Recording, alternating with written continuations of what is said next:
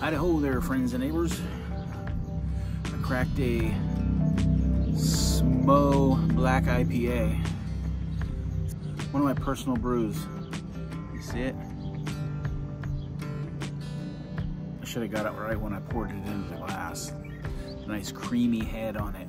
But I cracked this open to test it. It's been in the bottle aging. About two years now.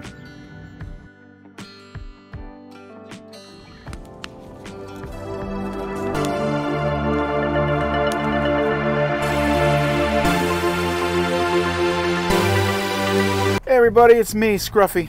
Um, I've been getting a little, I've been getting some questions. I'm not going to say a lot because it hasn't been a lot, but I, I have been getting questions from you know some people. Stacy, short, thank you, Bud, um, Todd, uh, a couple other people have made mention. It, it, makes me feel good that people are wondering what's going on um, and are curious. You know, uh, I. Uh, I just I had to take a break because I, I wasn't able to maintain the consistency that everybody wants. So I basically I took some time and uh, you know did a little course uh, on how to do YouTube better. Because I mean I kind of taught myself everything and you know it's uh, there's a name for it but uh, you know everybody thinks that oh this is easy. Oh I can do that. Oh I see you know this guy doing that. I can do that I kind of fell victim to that whole thing. But um, uh,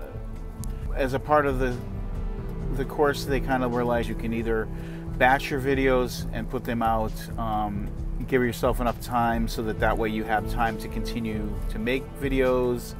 Uh, you can post on a different schedule instead of every week, every other week, uh, or you can just make less complicated videos. Um, I enjoy the process. I I'm not trying to be selfish. Um, when I go out and I do my footage for my video, um, you know, there's like 12 hours or six hours of footage um, that I have to sift through and, you know, develop a story for and, and do all that. Um, to be able to put it together to make it so that it's something that everybody wants to watch. I know one of the other things that they taught you is you got to be willing to kill your baby. And, um, know, I'm not trying to be selfish or anything like that, but uh, to a certain extent, Picasso didn't, and I'm not saying I'm Picasso, but Picasso didn't, uh, you know, cut corners in his work to um, to accommodate everybody else, and, and that's what made his work his work, and, and that's what I say about everybody's videos. Your videos are you, um, and if you're making videos because you enjoy doing it, then then don't take out what you enjoy um, about the making of the videos and what makes your videos unique um, to please somebody else, right? I mean, I get that, you know, the whole goal is not the whole goal, but a, a large part of the goal is to make a video that people want to watch. And I hope that I achieve that goal. But if I'm just, you know, cookie cutting things out to make it the way that everybody else's is. I'm not making it mine. I'm not doing me. Um, you know, there are guys on the platform that I, I enjoy their videos. Um, are their videos like you know everybody else's? No. Are they making what a lot of like YouTube experts would consider major mistakes? Yeah. Um, but you know what? I enjoy watching their videos, and there are other people who enjoy watching their videos because it's them. It's the guy. It's the person that's doing it. It's you know, at, at the at the end of the day, you're you're kind of there for the artist as well as the content that they're making, as well as the you know the content being in the genre that you like or whatever. So. Um, it is what it is. Um, I've got a bunch of videos that are in the meat grinder, as it were, and uh, I'm working on getting them completed so that that way, when I start dropping videos, I don't have to be under the gun because my job, my day job, is driving a truck, and I can't. I'm not like some other people who have different types of jobs where they can stay up and sleep like two hours a night and they can, you know, or they went to college for multimedia and they know how all this stuff works. you know what? Uh, it is what it is at the end of the day. If you like my videos and you like the way that my videos come out and you find them entertaining, thank you. That's why I kind of do it the way it is. I make some untraditional choices. And I like to think that that's what makes my videos my videos.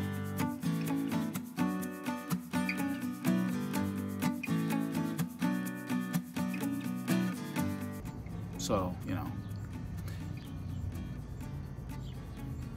cheers. I can taste the roasted barley in it.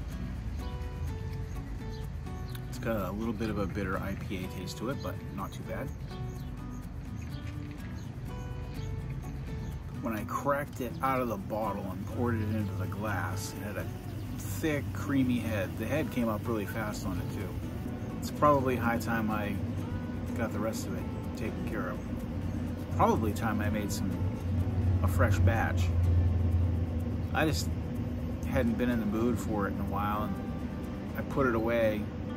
Um, I have like a little, like a little chest that I put it all into so that it would stay out of the light and uh, it wouldn't get light struck. Uh, any of those green bottle beers that you see that that have uh, a skunky aroma to them. Um, it's because they were in the green bottle and the sunlight got to them. And that gives it that skunky flavor. Some people don't like that. I enjoy it. I think it's, I like it. It doesn't bother me. So, um, but I'm sure a real beer purist would say. Skunky beer. No. Whatever, bro. But this thing came out really good. It's been two years in the bottle, so it uh, has aged well. It's really it's it's uh, kind of mellow while still um, still having that distinct IPA um, bitterness to it, without a heavy aftertaste. It kind of has more of a um, kind of more of a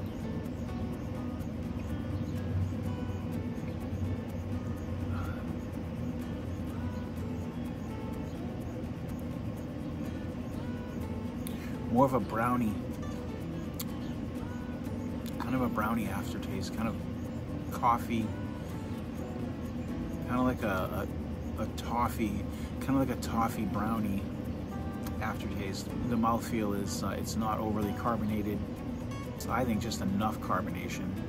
It's, you know, it's kind of like, kind of like a cross between a, a, a mild IPA and a Guinness.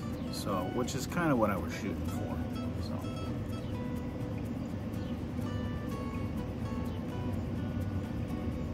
But overall not bad. If I remember correctly, the alcohol content I was shooting for was about a 6, 6, so.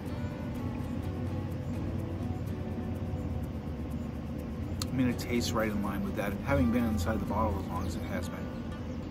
I mean, I wouldn't sit down and drink like, you know, more than two of them at a, at a time. That would be a little bit much. They're kind of heavy, but hey, it's homebrew. What are you gonna do? Smith Media Outdoors Black IPA. Thanks for watching.